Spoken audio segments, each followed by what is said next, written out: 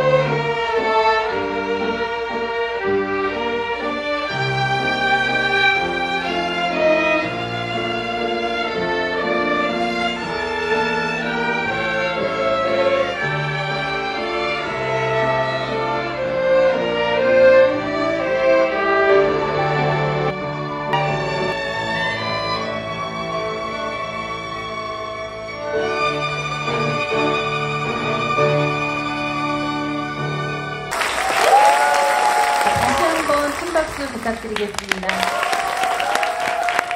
자, 그리고 지금 본연대를 치우시고 계시는 우리 바이올린 폴의 김슬기 원장님 한 말씀을 듣고 저희가 포토타임을 가져야 될 것 같아요. 가운데로 나와 주시겠어요? 안녕하세요. 바이올린의 대표 김승희입니다. 이번 연도에는 작년보다 아이들이 하고 있는 곡 난이도가 레벨업이 되다 보니까 좀 독주 시간도 좀 길고 그랬는데 너무 다들 잘했죠? 어, 아, 너무 힘들어요. 그 말밖에 생각이 안 나요. 1년에 한 번을 하는데 연 2회 여름 한 번, 겨울 한 번 저희가 하고 있고 5회차인데요. 연말에 연주회가 있어서 아이들한테 혹시 1년에 한 번으로 줄이면 어떨까 하니까 두 번을 했으면 좋겠다고 하더라고요. 저는 아이들의 말을 계속 경청하는 편이어서 네, 회 연주회가 준비가 되어 있고 독주 무대를 서볼 기회가 살면서 그렇게 크지가 않잖아요. 자신의 실력이 향상이 되고 보람차고 성취감을 좀 많이 가질 수 있는 기회와 좋은 추억이 되었으면 좋겠다고 생각해서 만든 무대입니다. 사진 찍어주세요.